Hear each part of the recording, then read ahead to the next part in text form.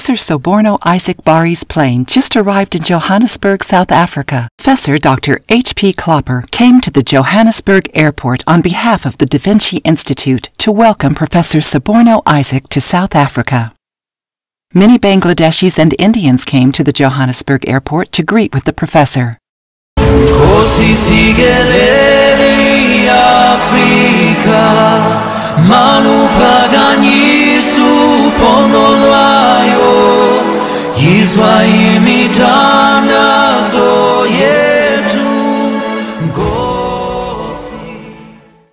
Academics, businessmen, mathematicians, psychologists, educators, and scientists of South Africa sit in a circle to interview Professor Soborno Isaac Bari, who is known as the god of mathematics. The interview is hosted by Professor Dr. Ben Anderson. We welcome you to South Africa and we thank you so much for joining us. You sitting in front, that is Professor Ben Anderson, a little bit older professor than you. but he is indeed a brilliant mind himself. And it is, he's our executive chairperson of the Da Vinci Institute, and he's in charge of the entire institute. Thank you very much, Prof. Anderson. Over to you. So, so the idea is that we will engage, and that hopefully in the short time that we have together, we would leave with some ideas and be connected in a totally new galaxy. Connecting strangers and hopefully take a journey. I think too often we are passers by and we don't connect. So I hope that you can connect and that some of us can reconnect in the conversation that we will be having. But it is all about the energy flow. So thanks for allowing us to bring you and your family into this intimate circle. There are beautiful minds around the table. Uh, some of them asked to bring a guest with them. So there's also new energy around the world, around this space. Of particular importance this morning is that um, we want to talk about looking forward and backward at the same time. So I almost want us to stretch our minds like the shamans would do and elevate their mind to the level of the condor, looking at tomorrow rolling in while yesterday is rolling out.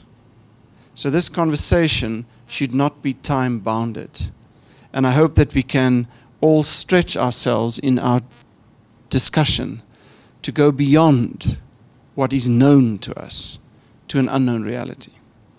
So over time, uh, Professor Bari, you have now become part of a circle of scientists, acknowledged most probably because of your expertise in algorithmic engagements. You can do calculations, you can do, you can play with, with numbers. To a large extent, the world in the last century has been governed by numbers. And to a large extent, in my estimation as a psychologist, numbers have ruled the world. So I'll be curious, as an opening question, to get your perspective of what do you think is the reality of the algorithm in this timeless uh, space of yesterday and tomorrow.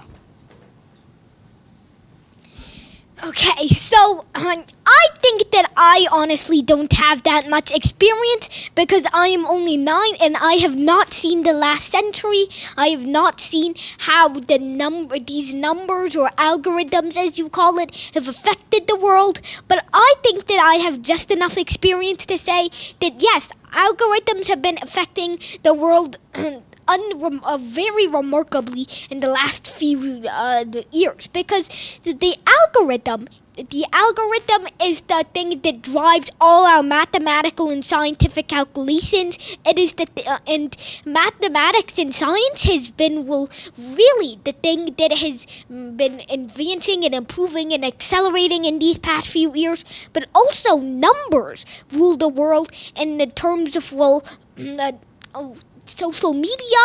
We have been uh, become a lot more involved with technology, especially our phones and computers and whatnot.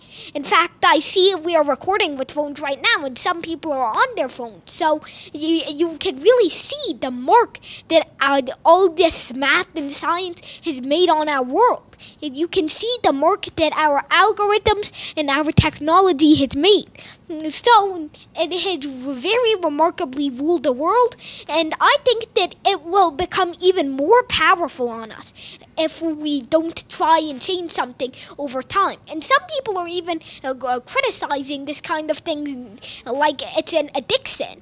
But technology is uh, going to make its course whether we like it or not. And artificial intelligence is going to be something out of our control in the next few years, especially because uh, artificial intelligence, now we created it with an intent and with uh, some programming lines of code.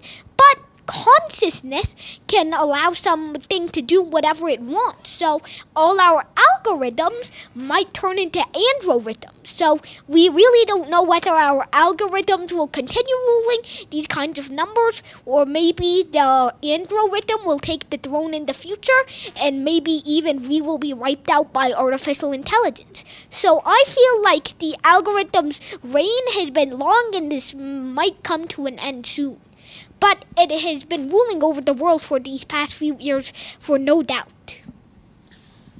Isaac Newton, Albert Einstein, and Soborno Isaac Bari are having a conversation while drinking coffee. Congratulations on winning the Da Vinci Laureate Award. Thank you, Sir Isaac Newton. A big fan. Congratulations, Da Vinci Laureate Soborno Isaac Bari. Thank you, Albert Einstein. A big fan. To Bari Science Lab to fall in love with math and science especially programming.